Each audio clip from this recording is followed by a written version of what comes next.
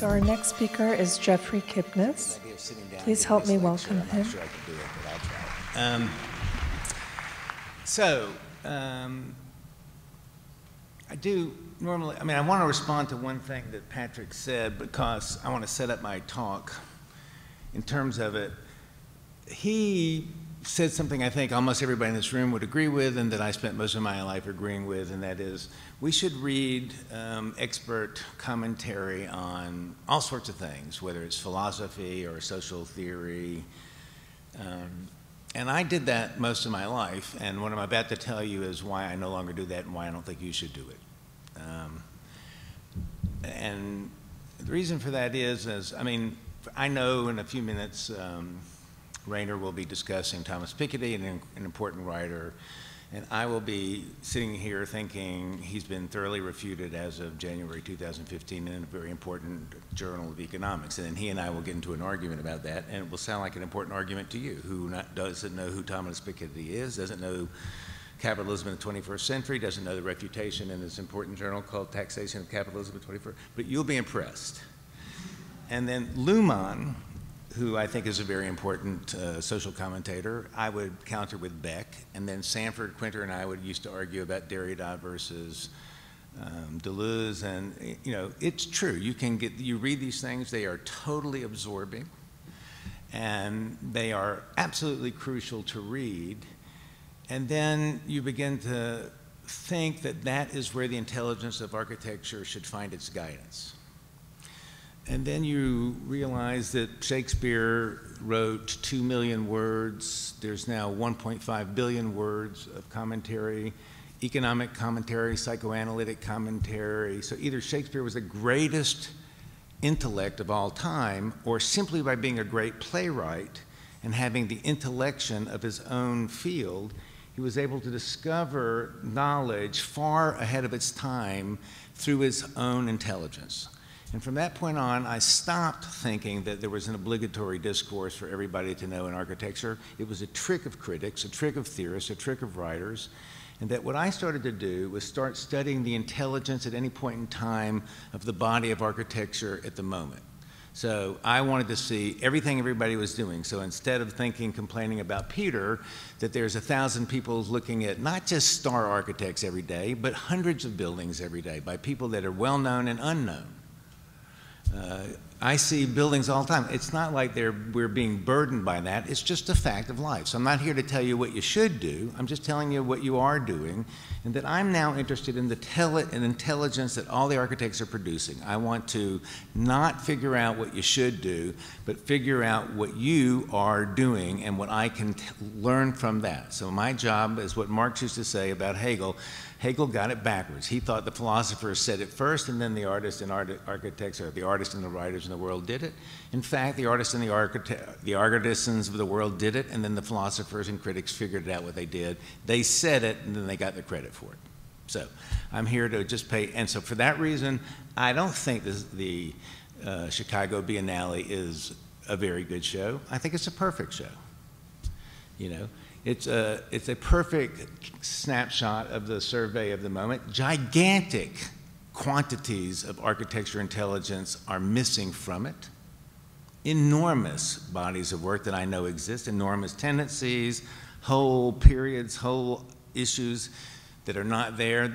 But what's there is deeply intelligent. Now, you cannot know its intelligence because the conversion, conversion, conversations of intelligence are, are missing. It's a representation of samples of intelligence. But as you look into each one, which I've spent some time doing, you'll find a profoundly interesting intelligence. And I think it's been really fantastic. So, like I said, I don't think it's just, I don't think it's a very good show. I do think it's a perfect show. So I'm going to show, as I do always, here is a movie that I thought might predict exactly what we're going to see today. You need a website.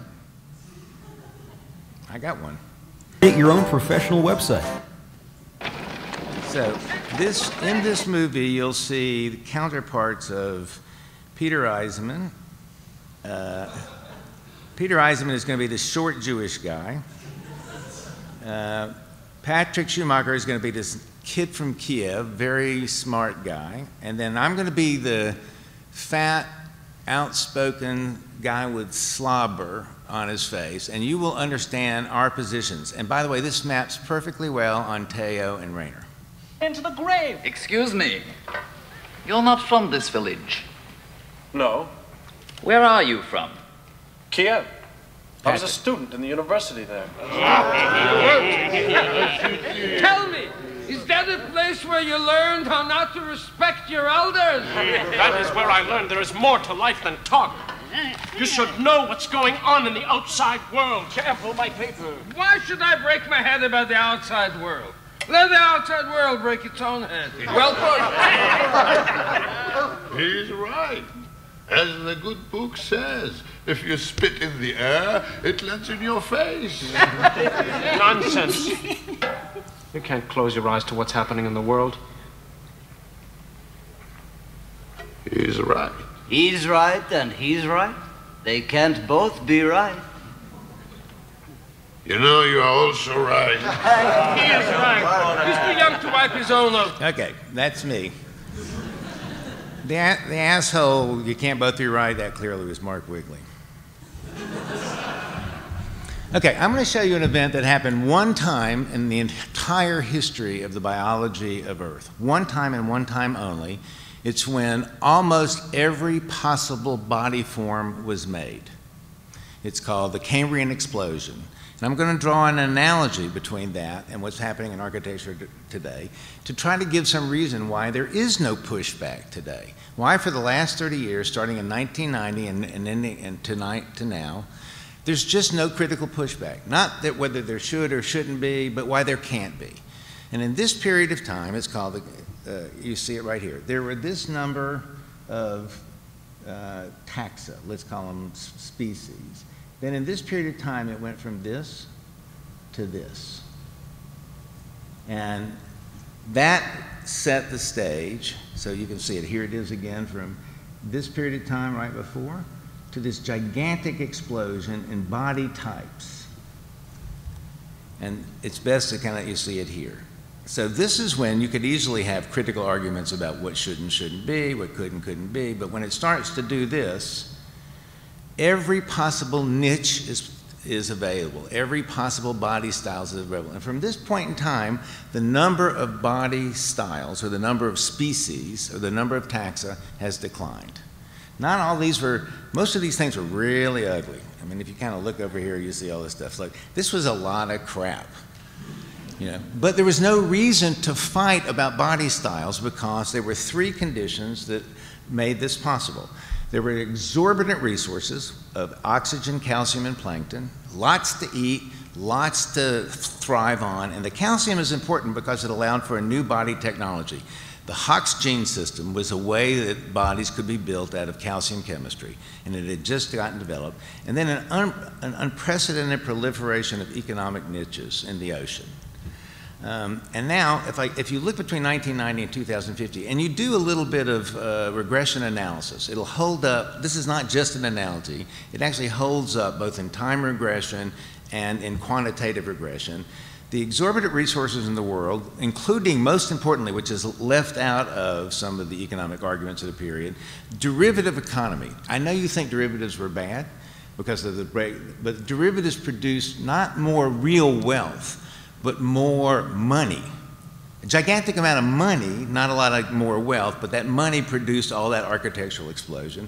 Third world economic expansion. New body technologies in architecture are absolutely fundamental. Nonlinear structures, which are FEM calculations, which could be done by computation, even though they were invented in the 50s. New material te technologies. Fast track production, meaning you order it, custom steel gets produced, and gets delivered just in time for your work. I mean, your work would not be possible without this. And then unprecedented niches, enormous market expansion. But this is the list, last one is important. Architecture qualities start again to become important, important building type qualities, meaning things that we used to separate. A building type quality was how it performed for its client and according to its program in the first 25 years.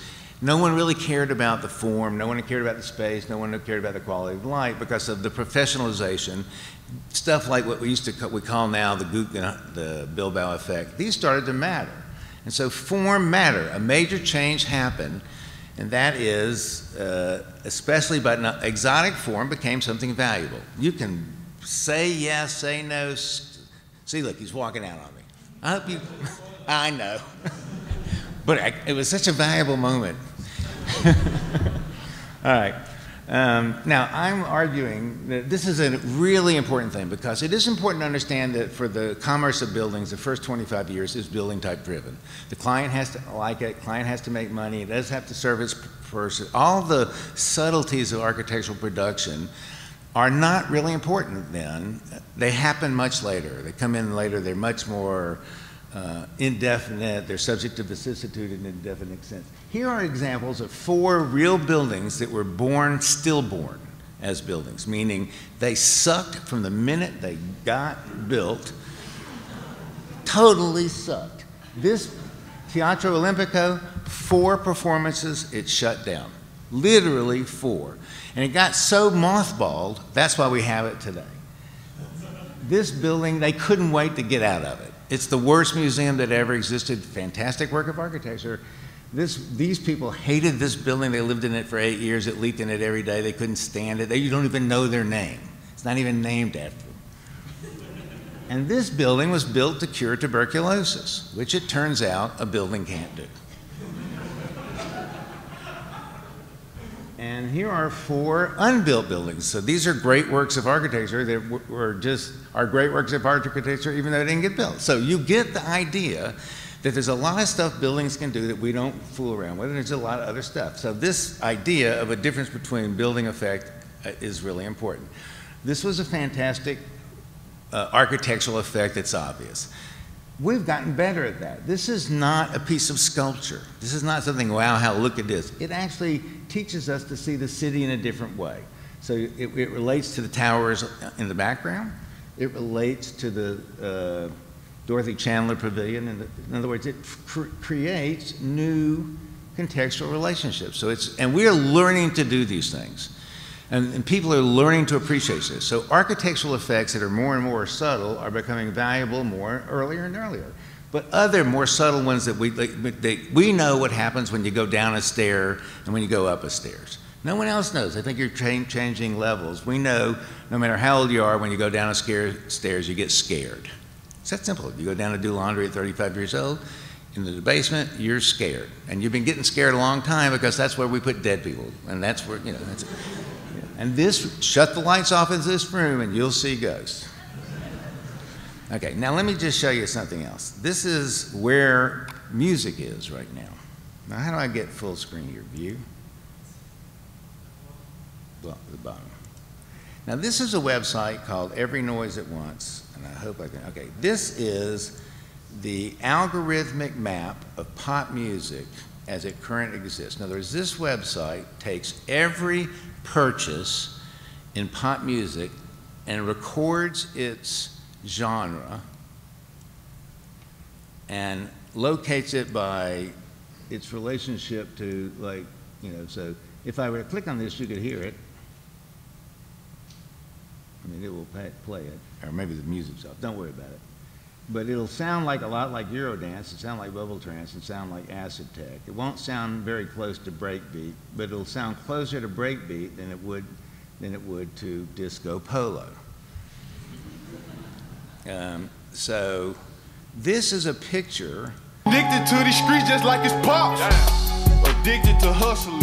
I want to, now if I go inside this, I can then see the, the algorithmic mapping of the deep trap world. Now, I'm telling you, this is exactly where architecture is right this second. It is not a disorganized, one of a kind mess. Is we just don't know how to map this yet. We just don't know how to cultivate this discourse.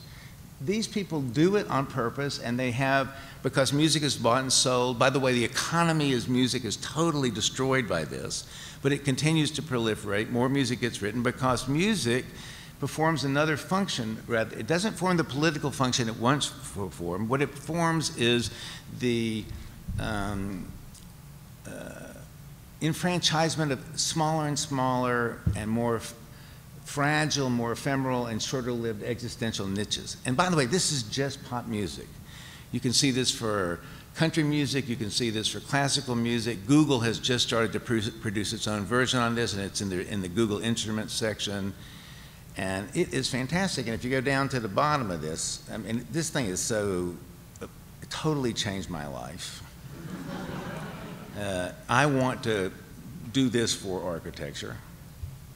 And so, you know, so if you go to the bottom of it, you can see how, if you go, if you go to the site, it's called, the site is called Every Noise at Once. Go to it, play around with it. Now, here is something I think is totally amazing. How many of you have been to this website? This is the Helsinki competition website. Virtually nobody. I mean, that's already interesting. 1,700 competition entries, 1,750 competition entries of smart architects working on a sophisticated problem, a site-specific museum of a branded museum. So the role of art in the world of a branded institution in a very difficult site. 1,700 smart people enter it, and you don't go look. You know why? Because you you think you're tired of stars, you're tired of wiggly forms, you're tired, you know. You don't, look, you don't go look not because you're lazy, because you're inured. You know, because there is no way for you to analyze these inf- this information. Wait, here's what's great. So people tried, look at this. They, I mean, you cannot, you go there and you say, what the hell? There's, I can't make heads or tails of that. I'm not going to look. And so you can, you go down and you can, you go to the menu and you can choose, oh, you can, can you make this thing smaller? Patrik? I mean, this thing is being blown up. I mean, it's being enlarged. And anyway, in one of the menus, it gives everybody chance that entered a chance to tag their sites. Like you can, it gives you 20 different qualities: flat, small, wiggly, uh, wood, glass. And I was going to show you that, uh, but I can't find it. But it doesn't matter. When you try to those tags, when you try to look at those tags, you don't get anything, and so it turned out to be a waste of time. So what I did yesterday, just for the fun of it, is I thought I needed to find something else. I need to get out of this. I took one of the images, and I took this image just at arbitrary, and I put it in Google image search. You have two minutes. Okay. The best stuff is coming, but I don't have time. Now, so in Google search, Google found all of these buildings that are similar to the, this building in the website within that in, in a minute. It found lots of others that I eliminated, but here are all these rough typologicals, and they all meet the ground. They all have very interesting discussions of how to meet the ground. Do I do it on plinth? Do it? I do it this? I mean, these are smart buildings that have something interesting to say to each other. It's a very short-lived tendency, but this is the way we could begin to think about that, and I could do that entire thing. Uh, I could begin to reconstruct this, and so instead of trying to tell these people what to do, I can learn from the, from the intelligence of this competition. And I have this competition all to myself.